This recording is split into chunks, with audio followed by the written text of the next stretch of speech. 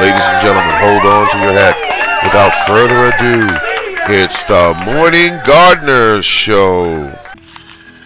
Saving seeds. Uh, let's see, what is this? Oh, piece uh, envelope from the mail, junk mail. You can use it for some good purposes. And this one in here has my uh, honeydew uh, melon seeds from one of my prize honeydews this year that I grew.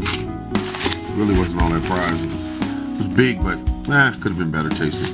This one here is a bag of, um, what do they call this? This is a bag of uh, pumpkin seeds. My neighbor had a pumpkin and I got the seeds from it. And uh, then we got, and see it is important to save these seeds because um, if you don't save them, then you just keep buying them. And this one right here, I showed you earlier, is the, the cherry, I mean, excuse cherry tomato right there. So we're good to go.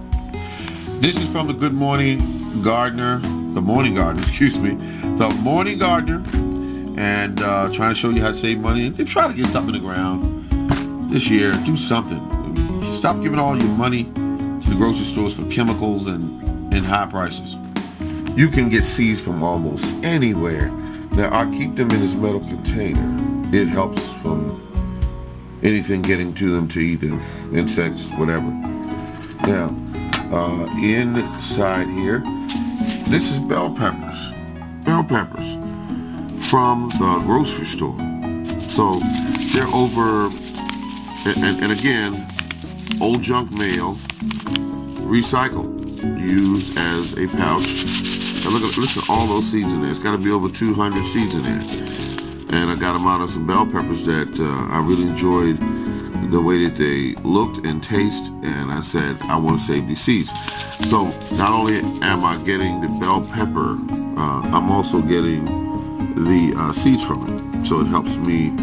These seeds will last probably about five years. Uh, as they get older, I'll just, instead of adding one or two seeds, I'll add four, then sometimes five to make certain that I get germination. So be smart about gardening and also remember that it's also about economy as well. You want to make sure that you, you keep your money in your pocket. Let the grocery stores, let the uh, people know that we can do what we have to to keep things rolling right along. Take care and have a good day. Again, from the Morning Gardener, grow strong. Take care. Bye-bye.